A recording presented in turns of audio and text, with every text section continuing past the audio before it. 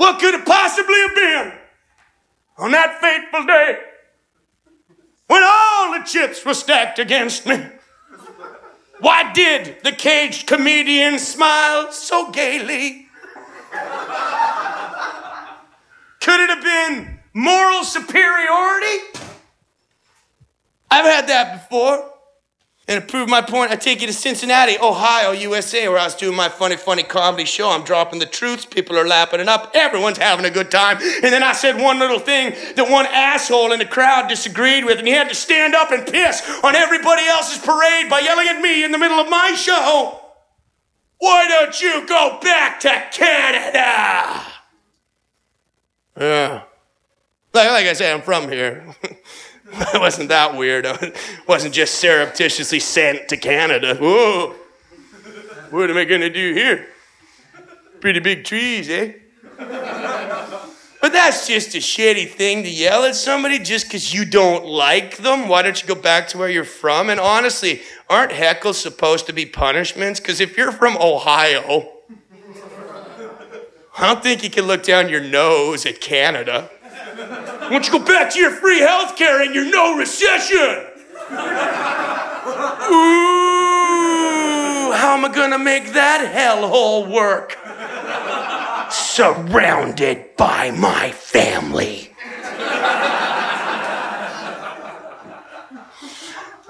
I have to go to America a lot now in my job. It's a trip. I never thought I would go there as much as I do, but it's different. It's slightly different than Canada. Like America's very much a bumper sticker nation. Yeah, I've never understood that philosophy of I think something. Get me the ass of my vehicle. I know, it's like Twitter, old school. I've seen every bumper sticker in America, all the way from my child is the star pupil at their learning academy, all the way down to Uncle Sam wants you to speak English. Oddly, never on the same vehicle. I remember the first time I saw that second one, I was like, really? Is that what the fictional cartoon character wants? Well, what does Speedy Gonzales think? Don't know, we won't say it in English. Uncle Sam, you guys know who Uncle Sam is? He's that goat faced dude who dresses like Apollo Creed. He's always pointing at you. Uncle Sam wants you. Uncle Sam wants you. Is that really the imagery we should be listening to? An uncle who looks like he's about to touch you? A touchy uncle. Uncle Sam wants you to keep a secret. uncle Sam is gonna buy you a bicycle. Uncle Sam wants you to speak English. Well, that's really what Uncle Sam wants, then why did he write it in English? like, surely that should say, if you can read this, Uncle Sam is a happy chappy.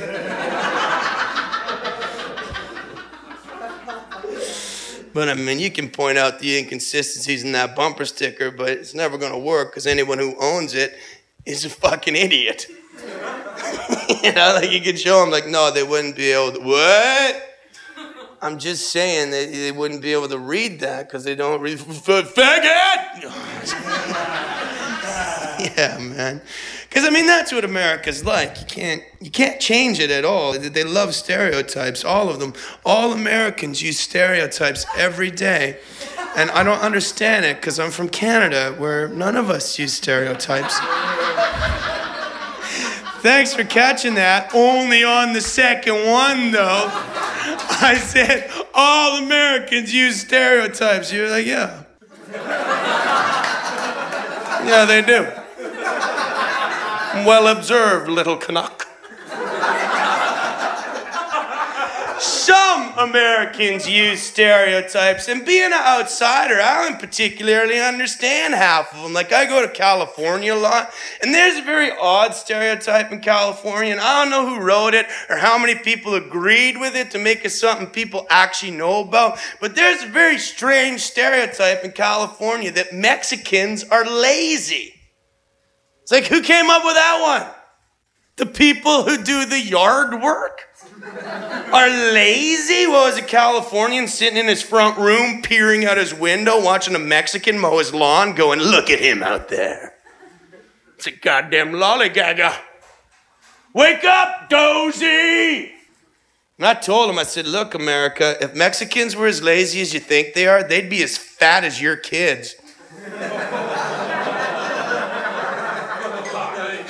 Which, if I'm honest, is around the point in time that the gentleman in Cincinnati suggested maybe I should go back to Canada.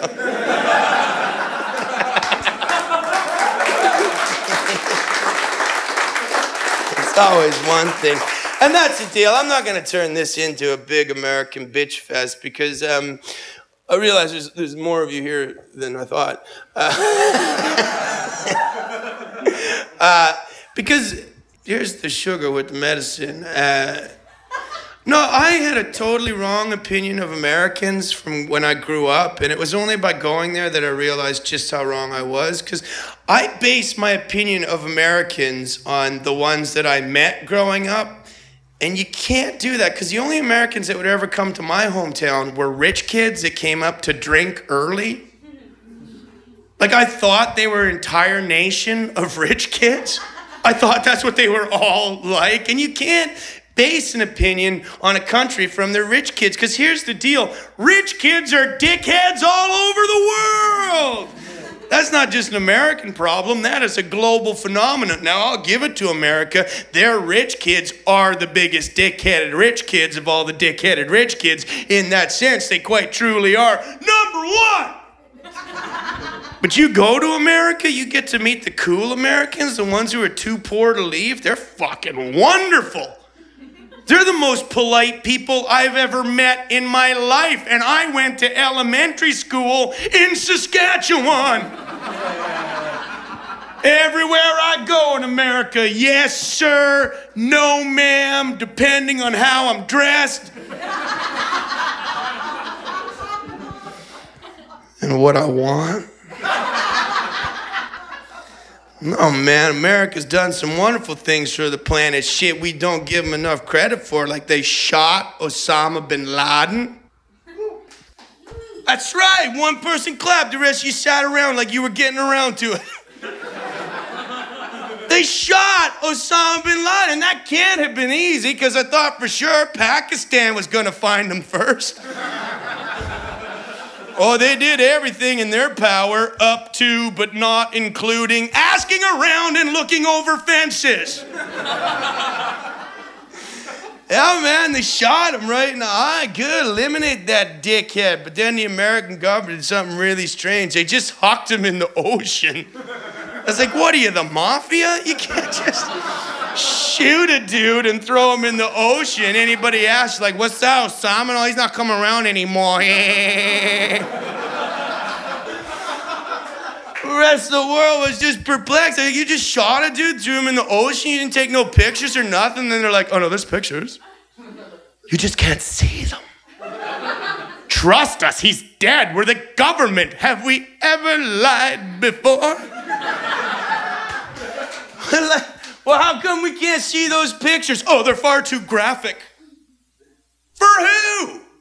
Have you seen video games in the last 10 years? I think we could probably handle a picture of a dude who's been shot in the head. We've been watching zombies swallow grenades for a decade.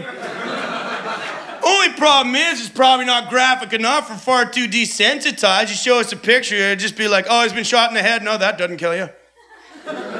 No, you just press X four times, come right back to life.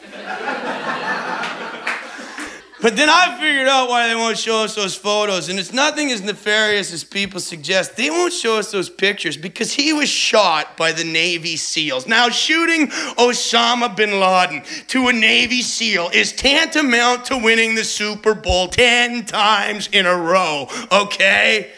They had a long helicopter ride with the corpse back to the aircraft carrier. The lads are pretty excited, and all I'm saying is by the time they got a photographer to that body, it had been desecrated. oh, you gotta think they were weekend at Bernieing him around the deck of that ship.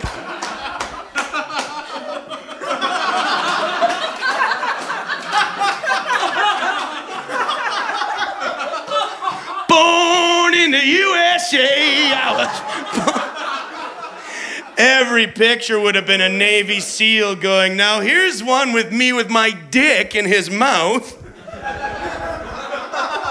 Here's one me with my dick in the wound. Here's one me going in mouth, out wound. That's what won me the prize. and the last picture, the last picture would just been Osama on his own in like a Dolly Parton wig, wrapped in the Star Spangled Banner, a little martini glass in his hand, lipstick on his lips, I'm gay written on his forehead. Bunch of Navy SEALs sheepishly standing around going, uh, that's how he was dressed when we found him. You don't just throw people in the ocean just because you didn't like them, but then the government could all you. They're like, we had to. We had to, okay?